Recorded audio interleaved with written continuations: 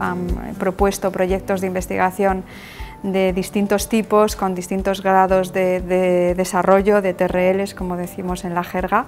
Y lo que hemos visto aquí es que hay, hay partido, hay cantera en España, tenemos muchos centros de investigación muy potentes, como demuestra el hecho de que muchos de ellos han llegado a la final de todo el territorio nacional eh, y universidades y OPIs, ¿no? centros de investigación, y estamos también animando al sector privado, que está deseando colaborar. ¿no? Para el sector privado es muy importante también identificar qué se está haciendo en la ciencia en nuestro país. Eh, nosotros es lo que estamos viendo, un, fíjate, un mensaje especial para las mujeres, que en el área siempre de las carreras estén, es deficitaria eh, el porcentaje de mujeres en comparación con, con, los varones y muchas veces es porque estas hacen una ciencia excelente pero se retraen mucho más que los varones y esto ya tenemos algunos análisis en el CSIC de participar no solamente en las oposiciones para ser un científico en un organismo público sino también en la petición de proyectos de investigación. Así que